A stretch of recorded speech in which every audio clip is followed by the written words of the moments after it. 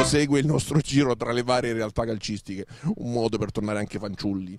E pertanto venite con noi a scoprire il Borgo Pace Juventina Lecce. Andiamo! Sta girando ferma.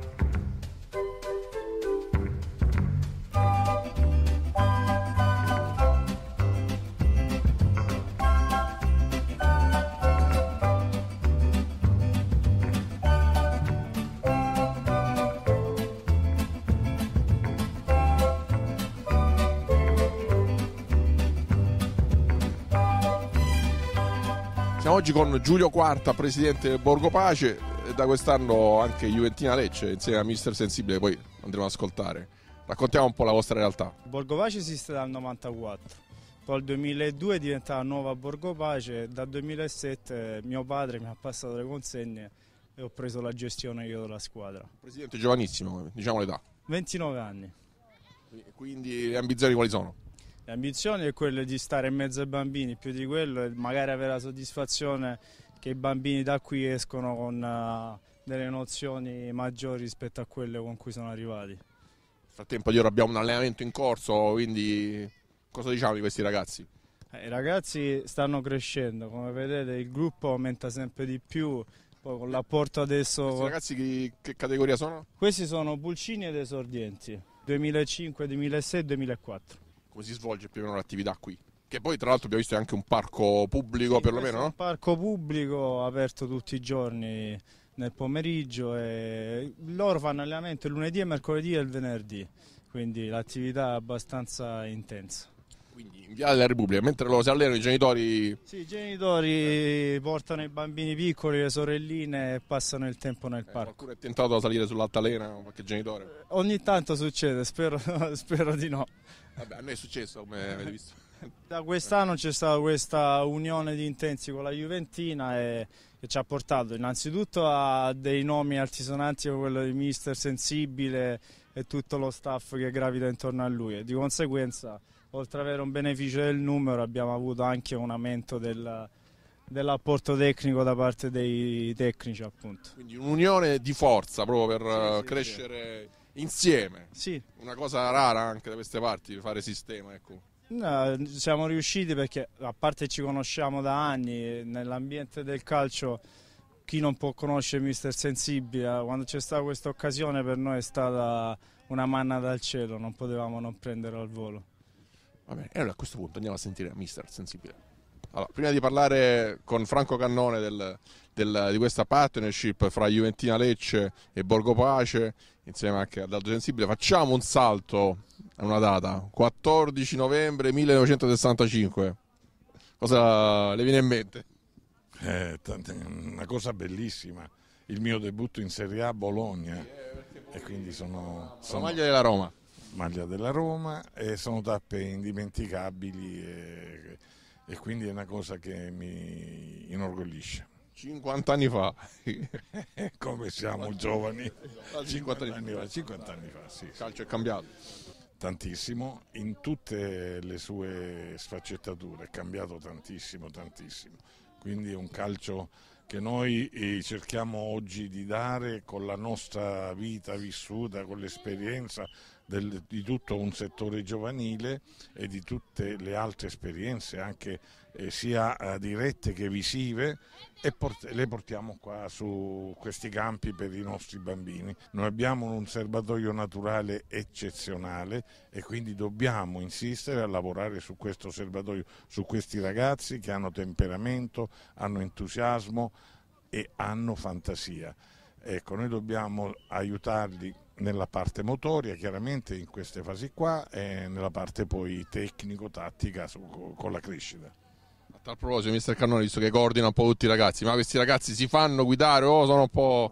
No, no, si fanno guidare, si fanno guidare, si fanno, diciamo, sono ragazzi, adesso i ragazzi hanno un margine di intelligenza superiore alla media quella che era una volta, perché una volta alla quinta elementare, adesso questi ragazzi ti seguono abbastanza, ti seguono, sono, hanno un bagaglio tecnico già diciamo, perché vedono le partite, la televisione, sono avvantaggiati da quando eravamo noi 50 anni fa, come dice lei, io anche 60 anni fa perché io sono più grande di Aldo e quindi... Facciamo i suoi trascorsi pure, ecco, il suo, anche il suo calcio. Io sono stato, nasco dalla Propatria a Lecce, Poi giovanissimo a 17 anni andai a Novoli in quarta serie, allora la quarta serie semiprofessionista, poi feci due anni a Novole e poi andai un anno con la Paganese in Serie C e un anno con la Nocerina. Poi tornai per motivi familiari e andai a giocare vicino casa a Gallipoli, sempre in C, e poi ho fatto Poggiardo, sempre in quarta serie. Il calcio anche di, di quarta serie, diciamo, rispetto a oggi... È... Era un calcio veramente, a parte era un calcio... Come ci si arrivava nei paesi? Arrivava, era molto difficile, era molto difficile, erano momenti brutti, non c'erano mezzi. Io pensi, noi partivamo il, il, venerdì sera per andare in Sicilia e tornavamo il martedì mattino. Se eravamo fortunati a traghettare, perché allora col mare forza 6-7 non si traghettava come adesso. Quindi abbiamo veramente vissuto momenti belli e brutti, diciamo, brutti perché diciamo, le possibilità erano allora chi giocava in Serie C è come uno adesso va in nazionale, perché allora non c'erano mezzi televisione, giornalismo, noi ci portava avanti Attilio perché noi stiamo, Adamo, noi stiamo portando un discorso proprio perché per noi è stato un padre, diciamo, ci ha insegnato calcio e vita. Cioè, è stato un maestro di vita, anche se i genitori nostri ci hanno dato educazione, tutto, però lui ci insegnava cose che magari a mamma e papà dicevi no, sta cosa non la faccio, a lui no invece, lui doveva fare come diceva lui, perché diceva quando ti troverai di fronte a quella cosa non dovrai essere impreparato, sarai preparato e così è stato. Ci siamo trovati veramente tutti quanti bene, tutti, tutti, tutti. E stiamo proseguendo questo discorso. Quindi Borgo Pace, Juventina, un'unione di esperienze. Dopo 60 anni così ci siamo riuniti di nuovo, un gruppo di amici, Enzo Lippo, Antonio Cannone, Gino Quarta e compagnia, e stiamo portando avanti il programma che aveva diciamo, ideato Attilio, che è lui questo che voleva. Lui voleva far crescere i ragazzi giovani il suo ricordo più bello, no? Insomma, lei è stato ha portato l'Ascoli in Serie A, eh, ha conosciuto Boscov. Eh beh, sì, ce ne stanno diversi perché a Brindisi insomma, anche, adorano ma anche, anche, a Roma so che un posto, ha un posto fisso sempre in tribuna sì, una leggenda. Sì, anche, anche, il mio debutto con il Lecce fu bellissimo che fu nel 64 e Salernitana Lecce quello fu anche una tappa importante. E poi là venne la nazionale juniores vennero altre partite in Serie C e poi fui ceduto alla Roma. Poi ho cominciato a fare sempre insieme e grazie sempre al nostro padre sportivo Attilio Adamo comincia a fare il secondo insieme a Mimmo Renna, a Mimino, nel Lecce e si vinse il campionato, poi facemmo un anno di Serie B e poi andammo insieme ad Ascoli e da là abbiamo cominciato poi a girovagare in tutta la penisola.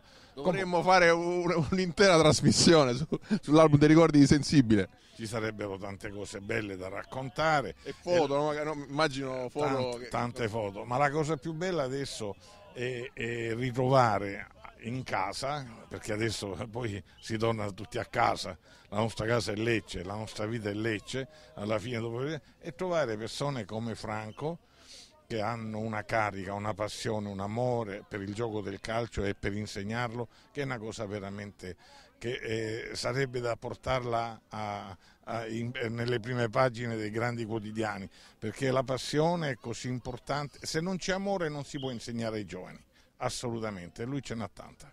Va bene, allora appuntamento in Viale Repubblica per vedere questi giovani della Borgo Pace Juventina insieme a questi grandi mister. Facciamo una foto ricordo.